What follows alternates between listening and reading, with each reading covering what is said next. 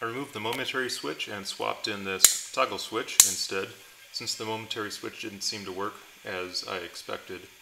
And I measured the battery draw with this switch on, and it is less than 10 milliamps. Uh, that's the resolution that I had in, on my meter. So it's kind of puzzling to me how you could have an alternator uh, malfunction light work with this particular alternator, but I don't have one of those, I don't want one of those, so I'm just not going to worry about it at this time. With that switch in there, it should work well enough to do additional testing.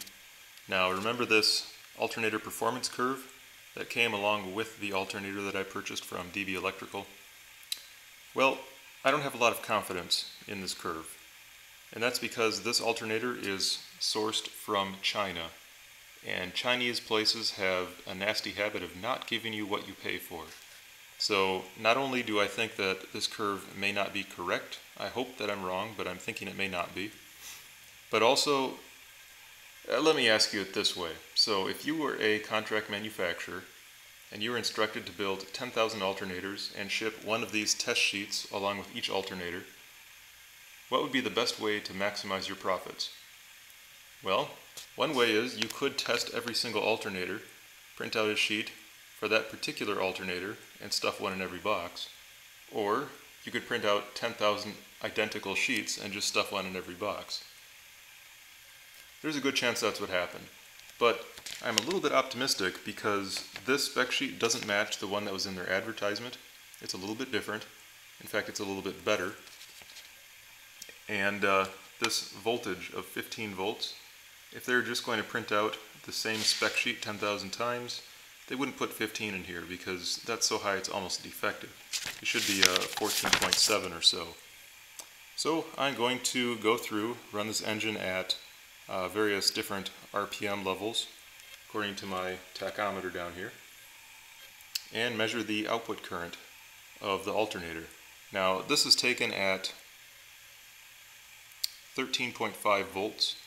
I'm going to be measuring it at some lower voltage so my curve will likely not be quite as high as theirs. But I'm actually going to be testing out this curve. I've never actually seen somebody do that. Maybe there are videos on YouTube of people testing alternator curves, but I'm going to do it on mine because I want to know what this thing really does. Now I went through all of the spec sheets, did all the calculations, and this engine should be matched for this alternator. Uh, in fact, the engine is just a little bit oversized. I wanted to be conservative. If you don't match the two up, you could get into a situation where your engine bogs down and uh, you fall off the bottom end of that alternator curve and it'll just get stuck there. Um, this should not do that, so I should be able to load the alternator fully and the engine should be able to power it. We will find out if I sized these correctly or if I made a mistake. Now, in order to test this thing out, I need to have a load of some sort that can draw at least 100 amps. I have it hooked up to this battery, or at least I will connect it, and uh, what do I have that draws 12 volts DC at at least 100 amps? Hmm.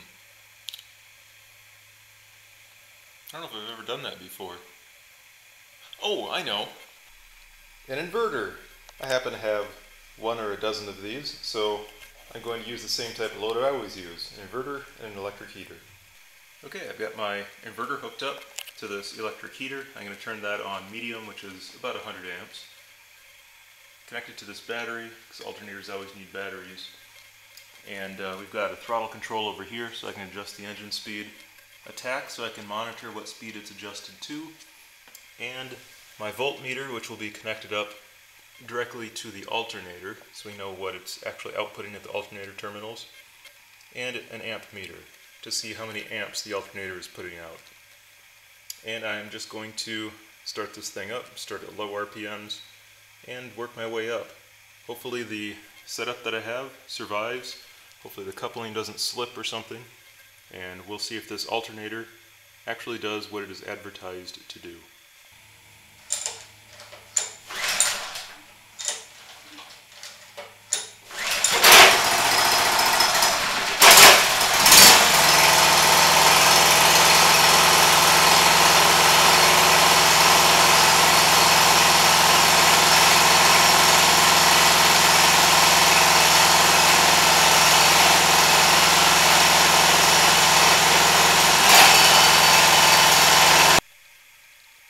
First time fire up of my 12 volt generator, I learned a few things.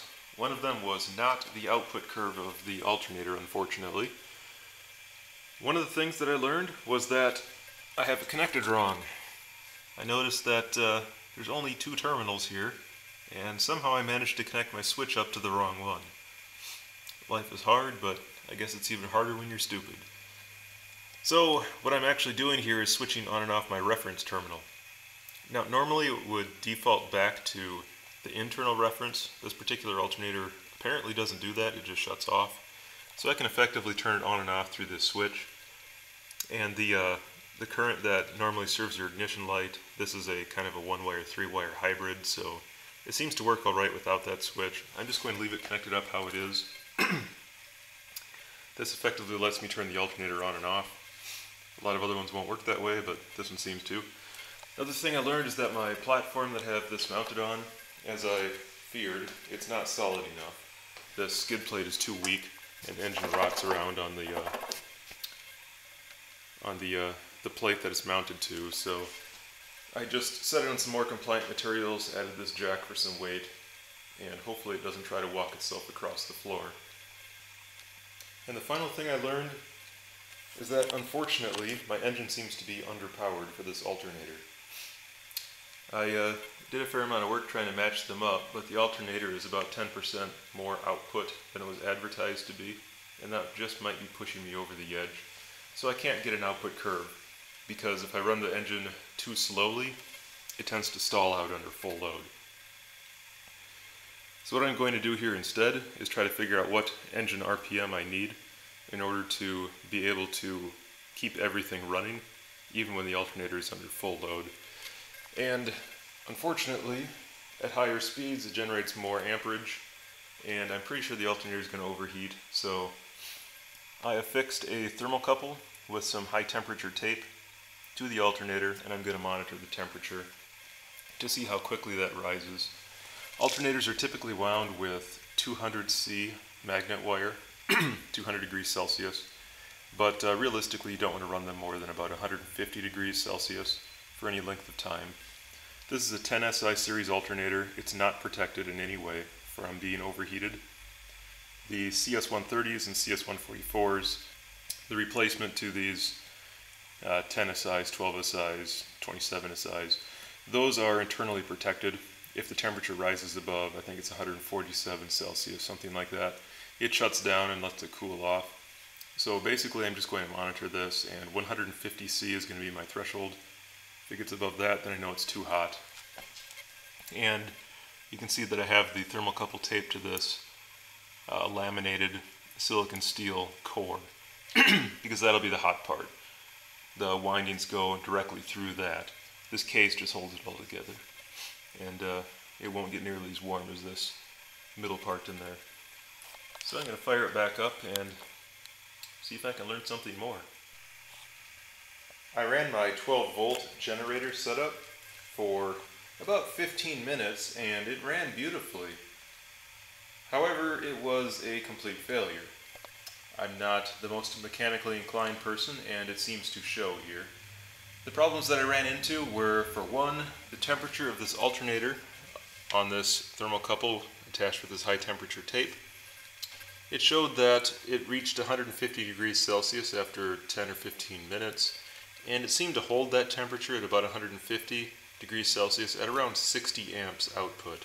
So this particular alternator, this 10SI high output alternator, cannot withstand more than about 60 amps continuous.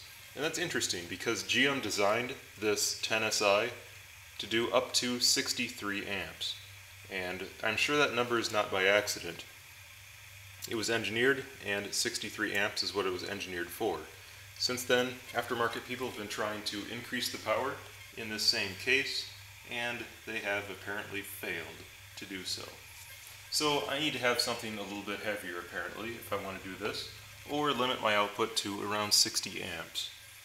The second thing that I ran into was that the spider in here is completely destroyed. I don't know if you can see that, but uh, it started firing out shredded pieces of that rubber spider out at me and uh, yeah it's completely shredded so this attachment method did not work out for me. I'm going to have to go back to a belt type setup, unfortunately. What did work out well were these anti-vibration mounts, makeshift anti-vibration mounts that I put in here for temporary use. Those actually worked pretty well, um, surprisingly, a lot better than I thought they would. But, uh, so I've gone back and I've looked on the internet for ways to connect these properly with pulleys. And I did find a pulley that I think will work for the alternator, and also a pulley that I think will work for the engine, and a V-belt also that should should match up pretty well and uh, allow me to couple the two together. I'll have to remove it from this plate, which was not strong enough anyway, and build some sort of, probably wood for now, uh, platform to put them on, but I've got about a week before those parts arrive in the mail, since I live in a rather small town, and I can't really buy things locally, so I'll wait for those to arrive, and then I will continue.